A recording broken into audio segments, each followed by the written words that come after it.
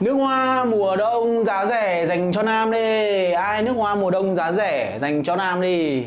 Và đây chính là cái tên đầu tiên sẽ xuất hiện trong mùa đông năm 2023 Đó chính là Mercedes-Benz Black Club.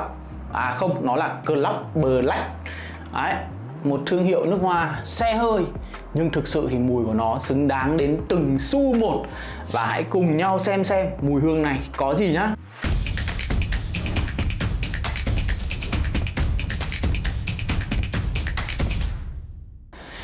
Trước tiên thì uh, như các bạn đã biết đó là hàng năm vào tầm tháng 9 tháng 10 thì mình sẽ lên một cái list nước hoa mùa đông dành cho nam. Và đến tầm tháng 11 thì mình sẽ có một cái list dành cho nam ở phân khúc cao cấp hơn. Và để cho cái video nó đỡ bị quá là dài quá là lê thê thì mình sẽ phải chia nhỏ ra. Nghĩa là làm review một hai con trước sau đó sẽ tổng hợp vào trong một cái list dài hơn. Và đây là con đầu tiên là mình muốn giới thiệu đến các bạn. Và cũng có thể nói rằng đây là chai nước hoa đáng tiền nhất trong cái list đó để cho những bạn nam nào thích một tông mùi ngọt thì các bạn có thể hoàn toàn lựa chọn. Thì uh, em này có perfumer đứng đằng sau đó là Olivier Quick ông là perfumer làm mùi cho cực kỳ nhiều thương hiệu nổi tiếng.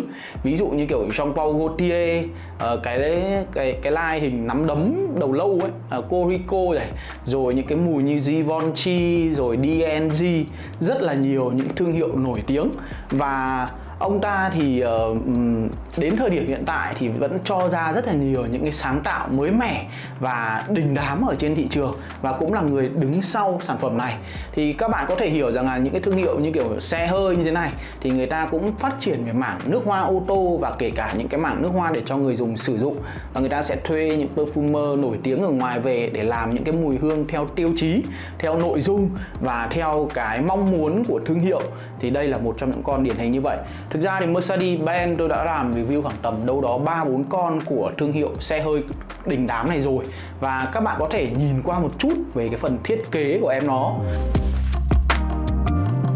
Thì đây chính là thiết kế với một cái màu đen rất đặc trưng và cái biểu tượng này đây là biểu tượng của người giàu này đó các bạn có thể nhìn thấy ở đằng sau thì nó có một cái phần tên in nổi đó là Mercedes-Benz uh, Club và mở ngoặc đó là Black. Cái phần dui ở bên trong đó là cái phần dui uh, các bạn nhìn sơ qua này nó có thể là màu vàng tại vì nó liên quan đến phần nhựa. Nhưng nếu mà để sát vào các bạn có thể nhìn thấy một cái lớp dầu nghĩa là cái nước hoa này thì nó có cái tinh dầu khá là đặc. Đó và đây chính là cái phần bấm để xịt này. Đây như thế này tôi sẽ để vào đây cho các bạn nhìn nhá. Đấy, đừng zoom tao nữa. Đây. Đó. Ra vòi vòi xịt thì mình thấy khá ok, đặc biệt là cái chỗ ấn này. Nhưng mà chỗ ấn này thì cảm giác nó hơi nhỏ so với tay của một người đàn ông. Như mình thì mình để vào, cảm giác nó nó không được vào hết cả cái phần cụm tay ấy. thì về thiết kế thì các bạn thấy sao? Thì các bạn có thể chia sẻ. Cá nhân tôi tôi thấy là nó khá đẹp, hợp với cái màu sắc đặc trưng của những con mẹc e hay là mẹc s. Trông rất là xịn sò. Vòi xịt thì cũng rất là ổn tiếp tới thì chúng ta sẽ đến với phần mùi hương. Đây chắc chắn sẽ là một cái mùi hương hot hit trong mùa đông năm 2023 nhưng trước tiên thì uh, mùi hương này nó đã ngừng sản xuất có nghĩa rằng là bây giờ nếu như các bạn tìm ở trên thị trường thì nó vẫn sẽ có, nhưng mà nó sẽ về từng lô. Thì mình cũng muốn chia sẻ về cái là tại sao có những chai nước hoa ngừng sản xuất vài năm rồi, nhưng vẫn có những người tìm được nguồn hàng về. Và nguồn hàng đấy thì nó có chất lượng hay không, nó có phải là hàng chuẩn hay không? Thì các bạn cứ hình dung như thế này ví dụ một thương hiệu như là Mercedes-Benz này, họ cho ra cái sản phẩm Club Black, thì họ sẽ phải phân bố đi rất nhiều nơi đại lý ở trên thế giới và sẽ có những nơi bán rất chạy, nhưng bên cạnh đó sẽ có những nơi mà người ta, cái phong tục, cái văn hóa cũng như là cái gu mùi của đa số người ở cái đất nước đó thì người ta không thích và không phù hợp thì người ta sẽ bị tồn lại và chẳng may một yếu tố nữa nữa, như kiểu đợt dịch chẳng hạn, thì có nhiều cửa hàng đóng cửa. Và cái nguồn hàng này thì nó sẽ phải bách trở về nhà máy. Và lại từ nhà máy lại phân phối đến những cái nơi tiêu thụ được tốt hơn. Thì riêng cái quá trình vận chuyển đặc biệt là những cái mặt hàng như kiểu nước hoa này thì người ta sẽ vận chuyển bằng đường thủy, container, chứ ta không thể nào đi bằng đường máy bay được. Nên là cái thời gian trôi giạt ở trên biển, trôi giạt thì nghe hơi quá nhưng mà cái đường công đi trên biển nó rất là lâu. Các bạn cũng có thể tìm hiểu về cái vận chuyển bằng đường thủy nó rơi vào tầm mấy tháng liền. Đó cũng là cái lý do mà tại sao nhiều thương hiệu nước hoa khi mà các bạn có những cái kèo order ấy, thì các bạn sẽ thấy rằng à về được khoảng 4 đến 8 thậm chí là 12 tuần thì mới có hàng. Thì đấy cũng là một cái chia sẻ sẻ bật mí với các bạn về cái vấn đề kinh doanh về nước hoa thì sẽ có những sản phẩm mà sau một cái quá trình dài như vậy thì nó lại có hàng. Thực chất là nó đến từ những cái vùng khác, không tiêu thụ hết thì nó trở về đây.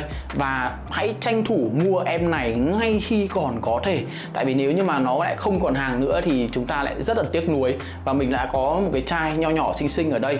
Thì tôi cũng đang tìm một cái gốc to hơn để sử dụng. Tại vì tôi rất thích cái mùi hương này vào mùa đông em nó khi mà vừa mới xịt ra ở trên tay nhá. Ờ, hôm nay thì tôi mạnh dạn xịt luôn tại vì thực ra tôi cũng rất thích cái mùi này.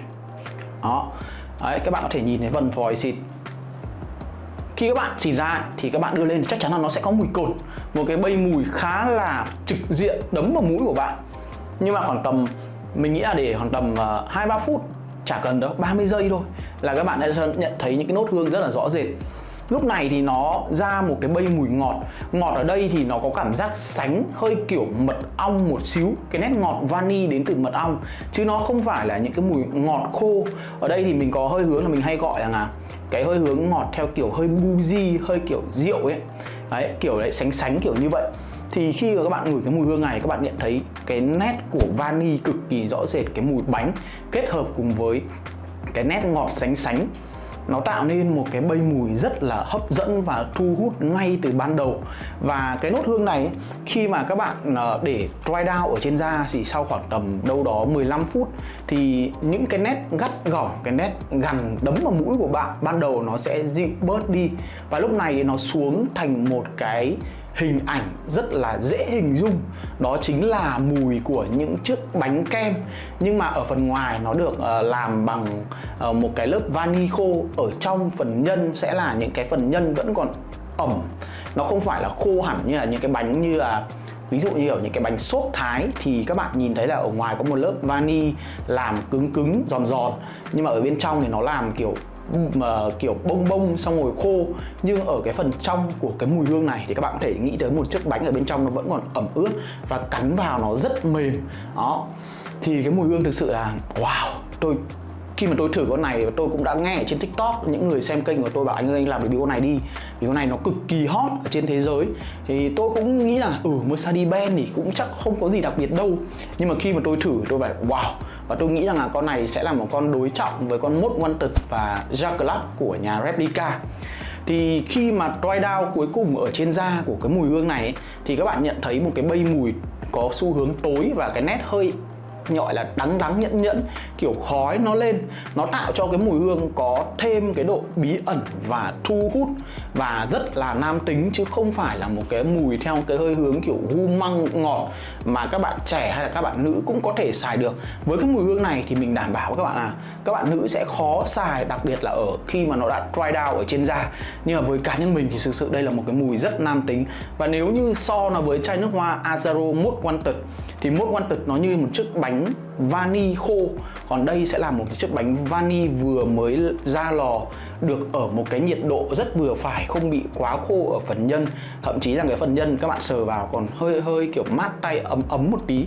Thì đây là cái nét đặc biệt của Mercedes-Benz và cái mùi hương này thì khi mà nó kết hợp như vậy, nó cũng sẽ phù hợp vào những ngày trời lạnh nhiều hơn. Nhưng cái phần mà mình nghĩ là độ tuổi mặc nó nó cũng sẽ phải cần gọi lưu ý một tí. Về cái phần độ tuổi của em nó, thì mình nghĩ rằng con này nó có một độ tuổi trưởng thành hơn, lớn hơn so với con Azaro Most Wanted tại vì là khi mà mình ngửi thì mình có cảm giác cái vai ở đây nó khá là lịch sự và trưởng thành. Nó hơi đứng đắn một tí, nên là cảm giác mùi hương nó sẽ phù hợp với những bạn nam ở đâu đó khoảng tầm 23 cho đến 25 tuổi đủ ra và các bạn sẽ không phải là mặc những cái đồ như kiểu áo hút đi hay là những cái chiếc áo phao kiểu quá là rộng nữa mà nó sẽ có xu hướng là mặc những cái chiếc uh, uh, những bộ vest những cái măng tô dài. Nhưng mà các bạn vẫn rất là nam tính thu hút và các bạn có một cái sự hấp dẫn đến từ những người đàn ông chưa có gia đình. Đấy tôi nói thẳng như vậy luôn. Và cái mùi hương này thì tôi nghĩ rằng là nó sẽ là đối trọng của Ja Club nó sẽ là đối trọng của Most Wanted. Và chắc chắn mùa đông năm nay thì tôi sẽ mang em nó đi phỏng vấn cho các bạn. Các bạn muốn xem kèo con này với những mùi hương nào thì các bạn cứ mạnh dạn bình luận nhá ở phía dưới nhá. Mà có khi mang em này đi để so sánh với con uh, Black Phantom có khi cũng ngang cơ đấy. Còn tôi nghĩ rằng là so với Most Wanted thì có thể uh, ngang pheo với nhau hoặc có thể con này nhìn hơn Ja Club cũng thế. Nhưng mà với mình thì mình đánh giá con này ngon hơn Ja Club rất nhiều tiếp tới thì sẽ là về cái phần hiệu năng của em nó. Nói thật là hiệu năng của nó quá là khủng khiếp luôn. Nó là một cái bay mùi mùa đông vanilla hơi hướng smooth à, hơi hướng buji rượu khói nhưng nó có một cái độ tỏa ở mức khoảng tầm một cánh tay quay đầu. Nó không quá ngào ngạt để khiến cho mọi người có thể khó chịu về mùi hương của bạn nếu như ở trong một cái văn à, một cái không gian kiểu hẹp. Thì các bạn có thể xịt mùi hương này lên những cái chiếc khăn quàng cổ mà các bạn quàng vào cho người yêu các bạn đứng sau ôm chẳng hạn. Tôi thề luôn, mê vãi. Cái hiệu ứng đấy nó giống như của con ombre laser ấy. Nó có một cái sự hấp dẫn và thu hút một cách kỳ lạ luôn. Và cái độ lưu hương của con này thì tôi phải chia sẻ. Đó là hôm mà tôi xịt cái mùi hương này, nó rơi vào 3 lần để tôi test. Thứ nhất là một hôm tôi xịt vào 7 giờ sáng. Thì đến buổi chiều, lúc mà tôi đi tắm là khoảng tầm 5 giờ đấy là tôi đi chơi thể thao vậy rồi. Nó vẫn lưu tất tốt ở trên da mà khi mà tắm thì nó không còn mùi nữa. Cái một hôm nữa đó là một hôm tôi xịt vào buổi tối tầm 6 giờ tối khi mà tôi ờ, đi đón người yêu tôi về. Thì bắt đầu tôi xịt mùi lên để tôi test và tôi đi ngủ sáng ngày hôm sau tôi ngủ dậy thì mùi hương nó vẫn phảng nhẹ ở trên da. Uh, nhẹ thôi lúc ấy nó không còn tỏa nữa rồi thì tôi mới thấy rằng là có những cái mùi hương mà các bạn muốn biết bán tỏa khủng hay không, các bạn cứ đi ngủ. Tại vì khi mà các bạn ngủ ấy, thì các bạn sẽ thấy rằng là các bạn lăn lộn, các bạn va vào chăn, các bạn va vào ga gối, rồi các bạn quật tay vào mặt người yêu, quật tay vào mặt vợ vùng các thứ. Thì cái mùi hương nó không thể nào tồn tại được, trừ khi những cái mùi bán tỏa rất khủng. Thì con này là một trong những con như vậy. Con này đảm bảo với các bạn là trên 8 tiếng là điều thừa sức, và nó sẽ là một cái bay mùi quá ngon luôn tôi cũng không hiểu tại sao nó lại ngừng sản xuất. Nhưng mà nếu như các bạn tìm thấy em nó ở trên thị trường thì các bạn hãy mua nó ngay lập tức. Đây là một trong những chai nước hoa mua đi đừng hỏi không phải suy nghĩ bất cứ một cái vấn đề gì cả. Vì thế thì à, xin phép được uh, feedback được review cho em nó. Recommend đó là một trong những chai nước hoa đầu tiên mở đầu vào mùa đông năm 2023 dành cho nam giới. Giá thành thì cực sự là cũng không quá đắt đâu so với những con Azaro thậm chí là còn rẻ hơn với Jack Club nó còn rẻ hơn rất nhiều. Nhưng mùi hương nó thì quá là đỉnh luôn. À. tuyệt vời.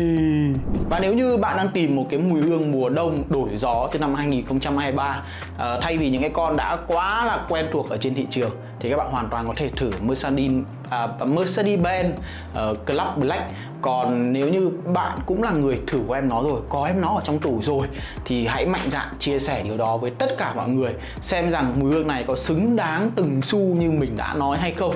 Còn bây giờ thì xin chào hẹp lại. Chúng ta sẽ cố gắng gặp lại nhau sau ở trong những cái video lít nước hoa mùa đông ở tầm trung và cao. Và cùng xem đó là những cái tên mới mẻ nào nhá. Xin chào hẹp lại. Bye bye!